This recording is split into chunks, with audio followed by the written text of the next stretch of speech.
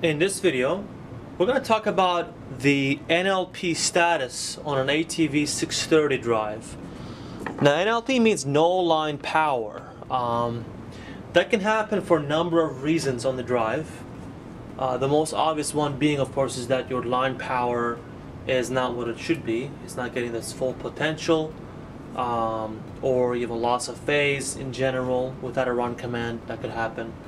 Or, in some rare cases, even though you may have full voltage available in the drive coming in, the drive may still think there's a no line power situation because everything on this drive is calculated based upon the DC bus voltage in terms of NLP status. So every so the voltage is actually calculated based upon your DC bus power. So if there's a problem with the DC bus not charging fully or if the control board is not or the power board or control board not reading something right then that can result in this kind of status unfortunately and um, may require further inspection or repair.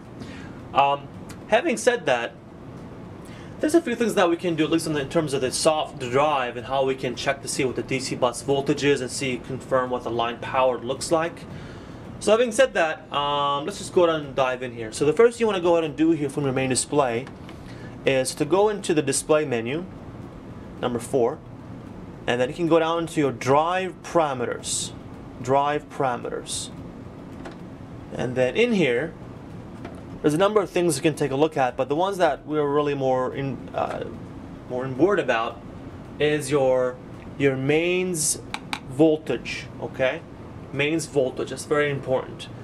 This is the value the drive thinks is your line power coming in because it's based off the DC bus charge. So if it shows very low or very high, sometimes that happens too, uh, regardless, if it doesn't make sense to what your line power is actually coming in, then that could also result in a fault code or we can confirm it with this particular uh, status here.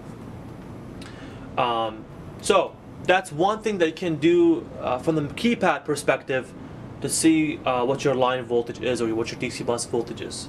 Now mine says UL and UN whatever, but that just means that the drives cannot detect the actual DC bus right now because I did some things to make this NLP status come about. But that doesn't matter for us, for our purposes here. So that's the first thing that you can do. The second or the most obvious thing that we can do, of course, is to check your actual line power now I have disconnected this connection here. I'm to go and power this off for safety.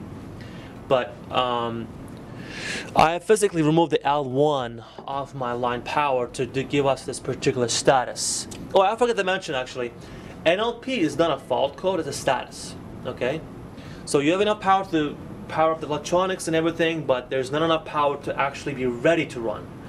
That's what says NLP not ready. But some of the things you can try to do is to you know, check, make sure your line power connections are good, L1, L2, and L3. Um, now your DC bus connections, I know it's kind of hard to see, but they're right next to your um, your line and your motor connections. Okay, so they're they're labeled as PA plus and then PC minus. Those are your plus and minus of your DC bus.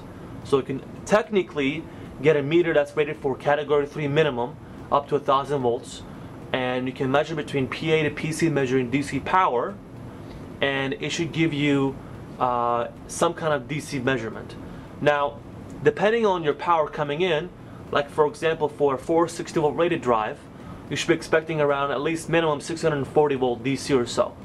And the reason why I came up with that number is because the conversion factor is 1.41. So whatever your line power is, you multiply by 1.41 and that's the value that you expect in your DC bus. Um, so in some rare cases, I know this is something we're talking about NLP status, but if you're getting spikes and if you're getting overbraking or over voltage faults, then that could be the reason why if you're reading very high values, even though you're bringing, let's say 460, but drive things are bringing like 500 plus, that's when you want to measure your DC bus to see what's going on. So anyway, that's what I would do. I would check your line connections here, and obviously I physically disconnected your line power to give us this particular status and let's go ahead and hook it back up here real quick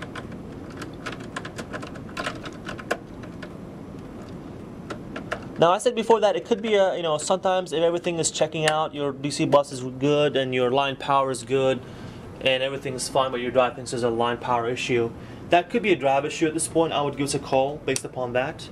And um, all right, so now that I've poked everything back up, let's go back to the keypad now.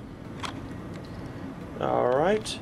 And yeah, so we have a ready status now, RDY instead of NLP. So that's basically all you can really do for this kind of issues for NLP. Now, again, I'm, I'm showing you guys a example of a small drive, not a large one. It's a small frame size.